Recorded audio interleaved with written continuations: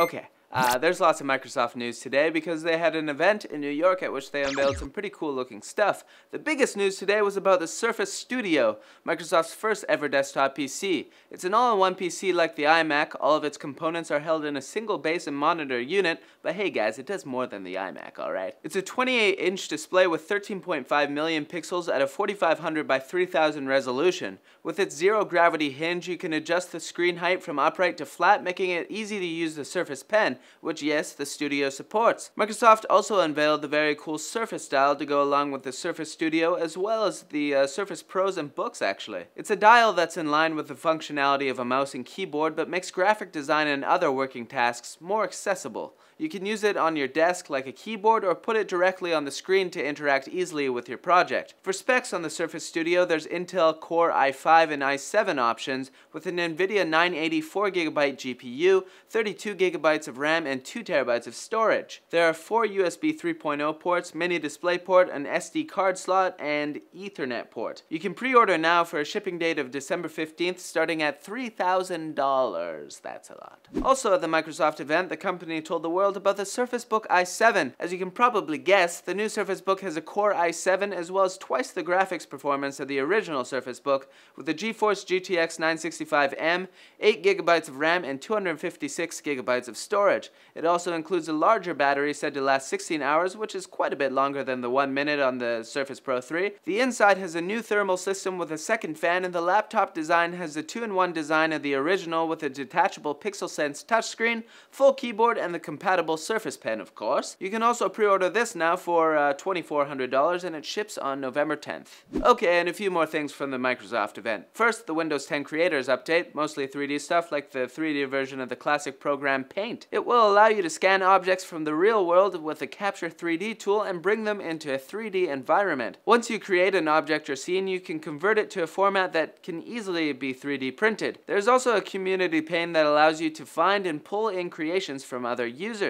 Additionally, in 3D Paint, you can turn your 2D doodles into 3D ones. The creations can also be viewed in 360 degrees with the HoloLens. There's also 3D in PowerPoint now, where you can integrate 3D objects from a 3D clip art library and then layer your movements into your presentation. Microsoft promises to implement 3D into its most popular applications this coming year. There's more to the creators update, so check that out, but this 3D stuff looks pretty awesome to me, even though I'm pretty terrible at like art and design and stuff like that. Alright, alright, last thing. Microsoft announced that it will bring the price down of Windows 10 VR headsets to $299. The headsets will have 6 degrees of freedom, so you won't have to be tethered down to a system. There aren't many other details yet, but Microsoft announced that it has partnered with Asus, Acer, Dell, HP, and Lenovo to bring a wide range of Windows 10 VR headsets to the market next year. Alright, that's enough of this, uh, this Microsoft stuff for one day. Let's, uh, let's get to uh, some shorter news stories said more quickly um, than those than those other ones. A YouTuber shared a screen grab showing a conversation supposedly between VR developers about the spread of eye herpes at VR demonstration events. This is just a rumor, but I've done quite a few demonstrations now. I'm I'm starting to get a little bit worried. Are my eyes watering or The Apple AirPods are being delayed a little longer than the late October release window because they need a little more time to make them ready for your ears, said an Apple spokesperson in a pretentious way, of course. Also, there's a big Apple event tomorrow. Google Fiber has cut 9% of its staff and paused fiber plans in 11 cities since it has not reached its subscriber goals, and fiber construction is a costly endeavor. It is, however, not the end of Google Fiber. And Xiaomi, or Xiaomi, I think people got mad at me last time I said that wrong. Xiaomi has announced the Xiaomi Mi Mix featuring a 6.4 inch screen, which is basically bezel-less, with a 91.3% screen to body ratio. It has a Snapdragon 821 processor and a 60 megapixel rear camera. The phone doesn't have a call speaker, but uses a technology that employs the acoustics of the phone's design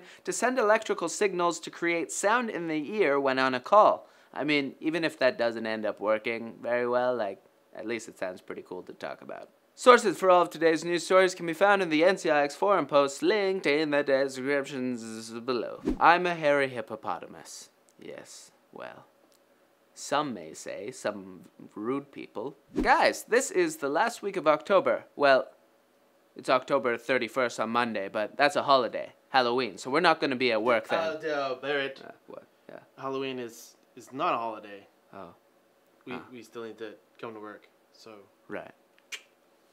Well, it's coming close to the end of the month anyway, so hurry up and subscribe to the NCIX newsletter and be entered to win an Asus Zenfone 3. If you're already subscribed, just hurry up already and claim your news points, newsletter points, that is, for October.